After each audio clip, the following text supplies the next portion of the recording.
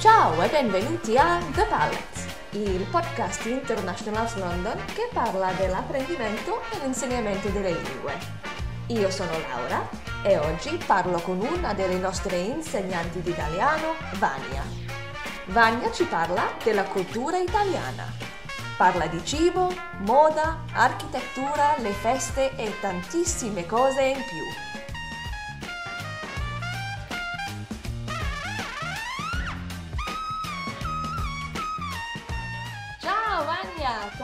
Stai? Ciao, sto molto bene, grazie. Tu stai bene? Bene, sì, grazie mille, sto bene anche. Allora, mi piacerebbe parlare della cultura italiana in generale. Possiamo parlare di tantissime cose, ma per quanto riguarda le tradizioni italiane, forse le cose più quotidiane, mm, secondo te quali sono le cose veramente italiane? Cioè, mm, le cose che definiscono la cultura italiana? Io parlando un po' sulla base anche della mia esperienza è sicuramente l'amore per il buon cibo, quindi questa attenzione incredibile agli accostamenti, alla, mm, ai sapori, alla, anche alla qualità, insomma. E, ehm, e poi il piacere dello stare a tavola e chiacchierare, cioè il fatto proprio di gustarsi questo momento che è quello della, della, del pranzo, della cena, soprattutto della cena, oppure anche quando si esce con gli amici, eh, veramente gustarsi non solamente la cena, ma anche il momento dopo, quindi si rimane eh, intorno a una tavola, si chiacchiera, si sorseggia e si gusta un buon vino. Eh, questo lo trovo veramente tipico della, della cultura italiana. E poi sicuramente anche l'atto proprio che la gente sia molto socievole, molto aperta, sempre, sempre con la voglia di chiacchierare, ecco. Li trovo tipici della cultura italiana. Sì, sì. Quindi il cibo è tipo una delle cose più importanti allora della cultura italiana. Sicuramente è molto molto importante. Poi ehm, sì, sì, assolutamente, proprio per noi è quasi una scienza. E... Ehm sì, è vero. È una religione anche. Sì, sì, cioè è una cosa che vedo che soprattutto quando sei all'estero colpisce perché noi, tra virgolette, a volte ci scandalizziamo di certi accostamenti perché per noi ci sono delle regole assolutamente precise. E in questo devo dire che l'altro L'altro punto, l'altro elemento eh, sicuramente molto forte della cultura italiana è la moda, che per noi è come il cibo, cioè c'è una, una scienza intorno a quello, quindi si, l'italiano sta attento agli abbinamenti in una maniera incredibile, la scarpa che è abbinata alla borsa, che è abbinata alla giacca, che è abbinato ehm, una delle, una delle eh, delle cose che un italiano solitamente dice quando va all'estero è oh, finalmente sono libero di vestirmi come mi pare, non mi guarda nessuno, perché in Italia, in Italia ti guardano, guardano se sei messo tutto abbinato, capito? Ed è vero, effettivamente è così, è così. Sì, sì. Allora, con tante tradizioni, tanta storia, esistono moltissime feste in Italia anche. Secondo te, quali sono le feste italiane più importanti?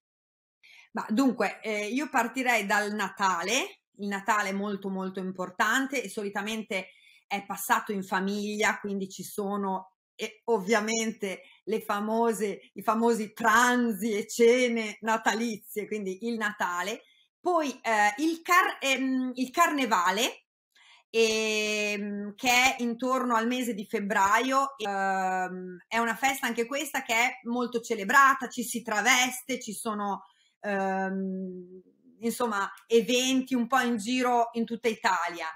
E pa- la Pasqua, E poi abbiamo la festa della liberazione che è il 25 di aprile e che riporta indietro al 1945 quando terminò l'occupazione nazifascista. E la festa dei lavoratori del primo maggio, poi imperdibile per un italiano è la festa del 15 di agosto che si chiama Ferragosto ed è diciamo così, per noi è il giorno della vacanza estiva per eccellenza. Quindi eh, veramente quel giorno lì ci sono soprattutto sulla costa, eh, sulle spiagge, feste di tutti i tipi, insomma. Ma in generale per l'Italia il giorno di Ferragosto, il 15 di agosto, è proprio vacanza, eh? il, proprio emblema delle vacanze. E, ehm, poi come festa, diciamo, poi abbiamo il primo novembre che è la festa di ehm, tutti i santi, seguita poi il giorno dopo dalla celebrazione dei defunti, anche se il 2 di novembre non è festa nazionale, invece il primo novembre sì. E a questo vorrei aggiungere una festa ehm, tipicamente italiana, che è quella del 6 di gennaio, l'Epifania.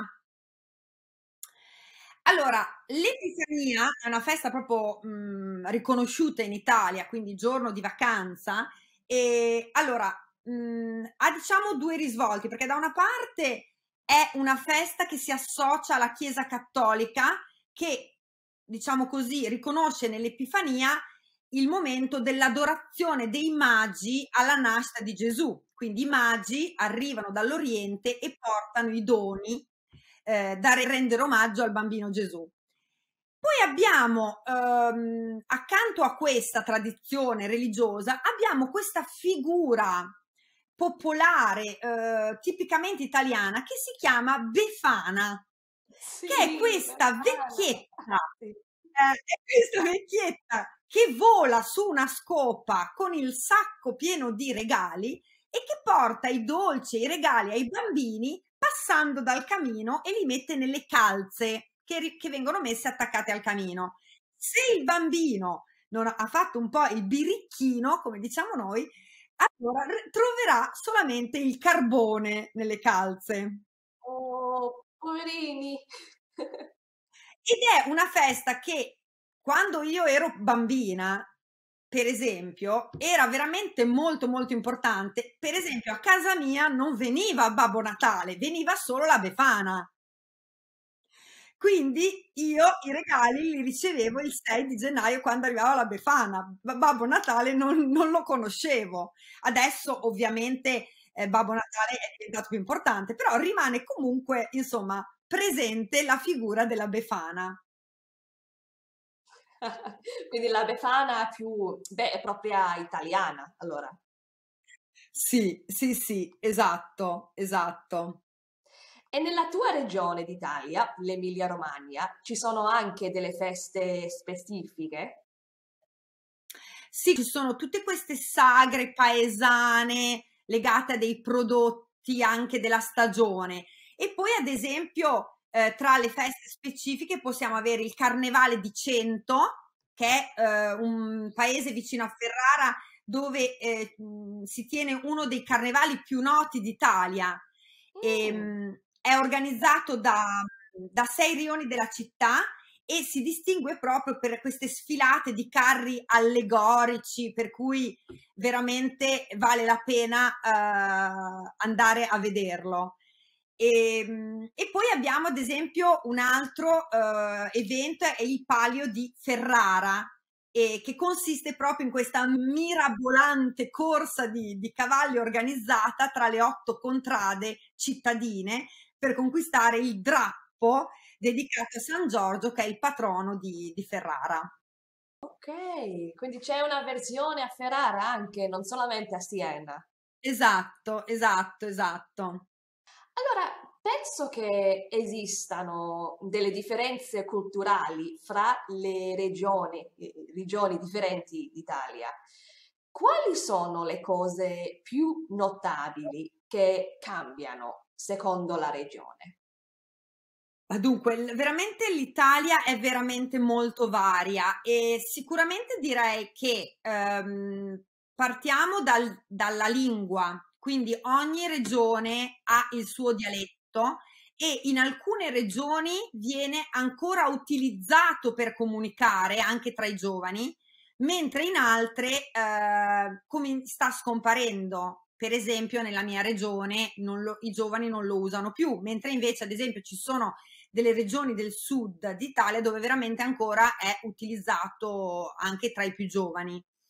E poi abbiamo ovviamente il cibo, le specialità da regione a regione, ogni regione ha le sue specialità. Io oserei dire che ogni paese ha la sua specialità, eh, anche per quanto riguarda il vino, eh, per cui veramente il cibo è molto vario. Il clima, perché eh, dal nord al sud abbiamo veramente attraversiamo tutti i climi, nel senso che al nord è piuttosto freddo d'inverno, mentre invece nel sud abbiamo un'estate veramente lunga, cioè nel senso partiamo da aprile, arriviamo fino a ottobre in, nel sud Italia, ecco. E, e poi anche l'architettura, abbiamo stili diversi, anche legati alle diverse eh, occupazioni storiche, insomma, nelle varie regioni, insomma, eh, anche a livello architettonico ci sono veramente stili diversi. Mm, uh-huh, uh-huh. Allora, quali sono le cose culturali più, più emblematici della tua regione? Cioè le cose che tutti riconoscono come abitudini, costumi o prodotti della zona?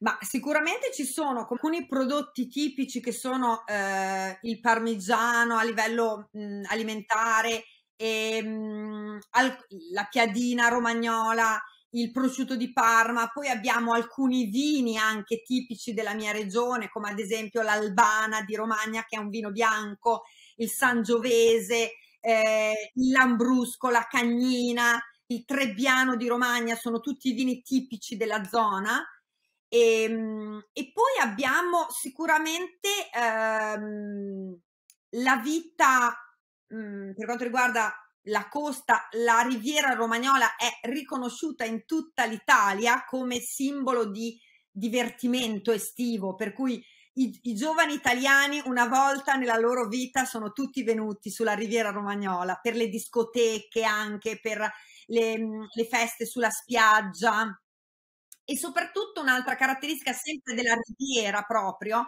è proprio questa che è un po' tipica della nostra zona, è il fatto che questi stabilimenti balneari chiamati bagni sono organizzatissimi e eh, permettono quindi offrono si può mangiare, si può noleggiare il lettino, ci sono un sacco di attività legate proprio allo sport, per cui ehm, se uno vuole fare una vacanza in cui è tutto ben organizzato, ecco, viene lì. Ehm, le spiagge sono organizzatissime con eventi, con, uh, anche per le famiglie, per i bambini, è tutto, tutto super organizzato.